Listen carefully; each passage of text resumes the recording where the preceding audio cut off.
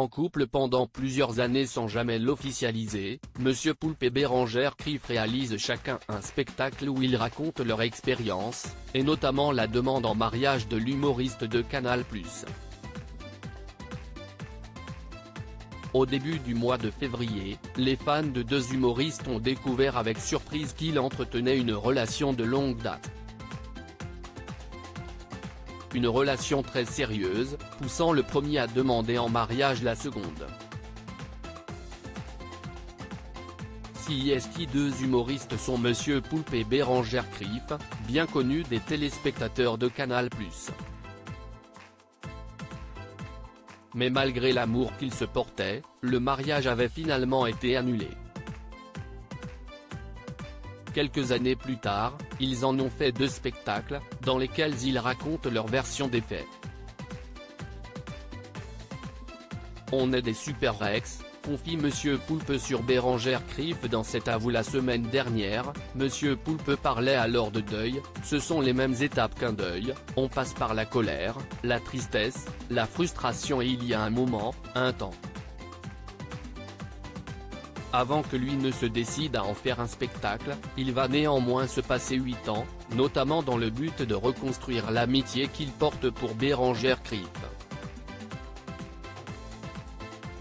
Sur Europe 1 ce matin, dont l'émission média présentée par Philippe Vandel, il va également plus loin, on ne l'a pas dit pendant très très longtemps.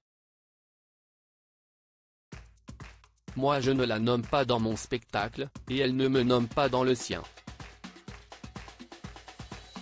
On commence à le dire depuis quelques mois qu'on a vécu cette histoire tous les deux et si est-il la même histoire racontée dans deux spectacles différents, explique-t-il, mais en attendant, on s'aimait toujours autant, notre relation a évolué, on est des super Rex, et il y a une vraie grande amitié entre elle et moi une déclaration touchante, et un spectacle qui a d'abord donné lieu à la diffusion d'une vidéo sur YouTube baptisée La Barque à New York, dans laquelle il tourne en dérision sa demande en mariage.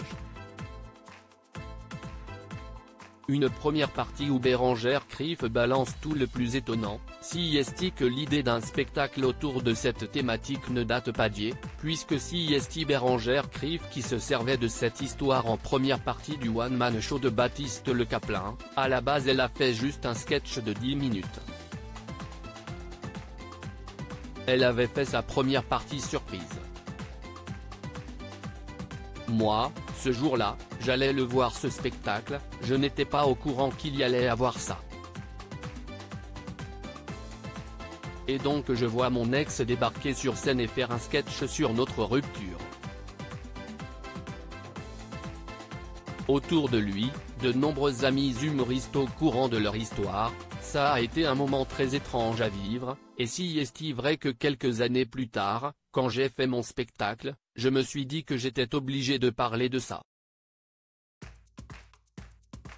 Après la séquence, Monsieur Poulpe confesse être allé en coulisses voir son ex-petite amie, on s'est pris dans les bras.